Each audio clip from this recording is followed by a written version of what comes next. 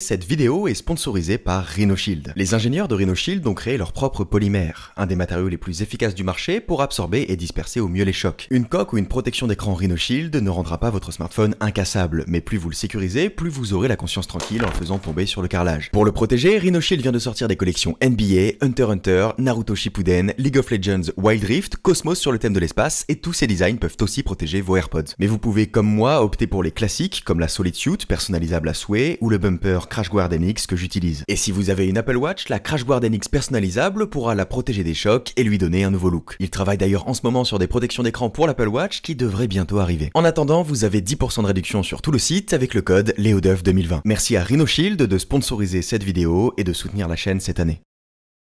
31 millions, c'est le nombre d'Apple Watch vendus en 2019. Alors qu'elle n'existait pas il y a 6 ans, l'Apple Watch a dépassé Casio, Cartier, Omega, Fossil, Rolex. 31 millions, c'est plus de montres que l'on a vendu l'ensemble des horlogers suisses réunis sur l'année. 31 millions, c'est certes colossal, mais ce n'est rien considérant le potentiel de l'Apple Watch, parce que j'en suis certain, vous allez finir par l'acheter. Et je vais vous expliquer pourquoi. Le problème avec l'Apple Watch et les montres connectées de manière globale, c'est que ceux qui sont convaincus de leur pertinence ont énormément de mal à transmettre leur adoration à ce que le reste du monde appelle un gadget. L'Apple Watch à tort considérée comme un accessoire, mais elle est tout sauf un accessoire. Aujourd'hui, je peux sortir de chez moi sans mon iPhone, juste l'Apple Watch au poignet. Je serais en mesure d'envoyer de la musique dans mes AirPods, de commander un Uber, de consulter mon calendrier, d'envoyer un message pour prévenir que je suis dans les bouchons, de lire mes mails, de prendre un appel et de payer le restaurant pour me faire pardonner de mon retard. Si l'on fait abstraction du fait que j'ai eu besoin d'un iPhone pour initialement configurer l'Apple Watch, peut-on vraiment qualifier un objet capable d'opérer indépendamment toutes ces tâches d'accessoires? Toutes ces personnes qui commentent sous chacune de mes vidéos qu'un téléphone ça sert avant tout à téléphoner devraient trouver en l'Apple Watch le téléphone parfait. L'Apple Watch n'est-elle finalement pas ce qu'était autrefois l'iPhone à l'ordinateur appareil exécutant à peu près les mêmes tâches, mais qui trouve sa pertinence dans son format. L'Apple Watch ne fait en effet pas grand chose de plus que l'iPhone. J'irais même jusqu'à dire qu'elle ne fait rien de mieux, mais elle a un avantage considérable,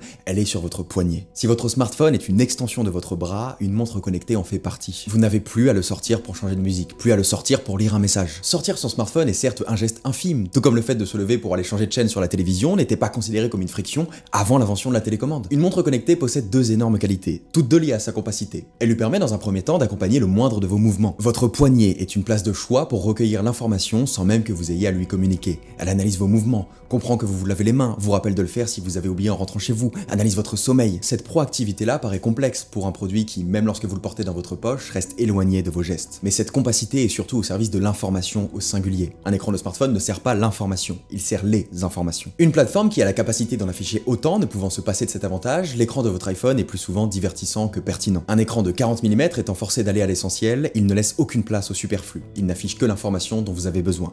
L'Apple Watch n'est peut-être pas un moyen de se déconnecter, mais il est l'ultime outil pour se connecter plus intelligemment. On a tendance à croire que l'humain augmenté est assailli par l'information dans la mesure où elle fait partie de lui, mais je crois que c'est une erreur. C'est justement parce qu'elle fait partie de moi que j'ai conscience de l'importance de sa pertinence. L'Apple Watch ayant le pouvoir de faire vibrer mon bras à n'importe quel moment de la journée, je lui prête une responsabilité bien différente de celle que j'accorde à mon smartphone. Ce qui ne m'empêche pourtant pas d'y passer 5 heures par jour, les petites interactions avec ce dernier se transformant en longues minutes de consommation de contenu. Si mon iPhone vibre à chaque notification Twitter, mon Apple Watch ne me dérange que lorsque j'estime que c'est important. L'appel de quelqu'un avec qui je travaille, le rappel de me lever quand je suis trop longtemps resté assis, une tâche urgente de ma to-do list, mon application de concentration qui me prévient de la fin d'une séance d'écriture. À votre poignet, l'urgence n'est pas la même. À votre poignet, les distractions sont réduites à néant. Pour la raison évidente que défiler une timeline Twitter sur un écran de 40 mm est un enfer. La plus grande erreur que l'on puisse faire lorsque l'on souhaite présenter un tel produit, c'est de réciter les applications qui nous sont utiles, dans la mesure où elles sont toutes quasiment plus confortables sur un iPhone. C'est une hérésie de considérer l'Apple Watch comme un objet de fonction, c'est un concentrateur d'informations. Considérant ceci, l'Apple Watch est, à l'inverse d'une extension de l'iPhone, un meilleur outil. Mais ce n'est même pas la raison pour laquelle vous allez finir par acheter une Apple Watch, sinon vous l'auriez déjà fait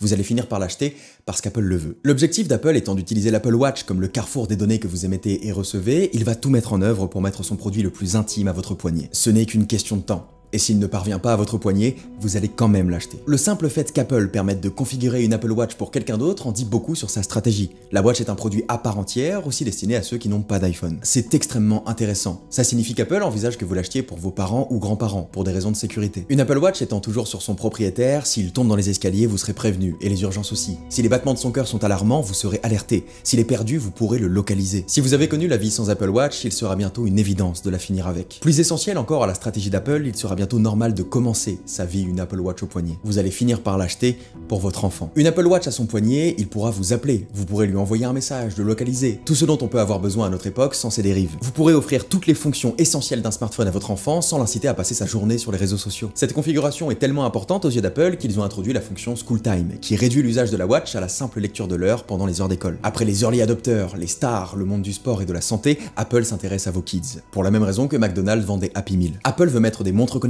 au poignet de vos progénitures parce qu'être le premier contact technologique d'un enfant, surtout avec un produit si intime, c'est s'assurer qu'il restera dans cet écosystème toute sa vie. Lorsqu'il sera assez grand pour avoir un smartphone, il voudra rester dans l'écosystème qu'il a toujours connu. Et accessoirement, le seul compatible avec la montre qui l'accompagne depuis des années, l'iPhone. Si l'Apple Watch est si essentielle à la stratégie d'Apple, c'est qu'elle est une porte d'entrée à tout son écosystème. Vous finirez par acheter une série 6 à vos grands-parents, avec l'électrocardiogramme et le suivi de l'oxygénation du sang, pour prévenir d'une attaque cardiaque ou d'autres problèmes de santé. Vous finirez par acheter une SE à votre enfant, parce qu'elle est l'outil parfait pour le connecter à vous sans le connecter au monde. Avec une protection Rhino Shield parce que les enfants sont des brutes. Vous finirez par l'acheter pour vous, voyant que ça n'a rien du gadget que vous imaginiez. Vous finirez par acheter l'Apple Watch parce qu'elle va devenir de plus en plus proactive, analysant le moindre de vos gestes, déplacements, habitudes pour que la technologie fasse plus que jamais partie de vous. Vous finirez par l'acheter parce qu'elle est la pièce la plus importante du puzzle consistant à intégrer la technologie à votre organisme. Vous finirez par acheter l'Apple Watch parce qu'Apple souhaite que vous l'achetiez. Merci à tous, merci à Rhino Shield, c'était Léo Duff.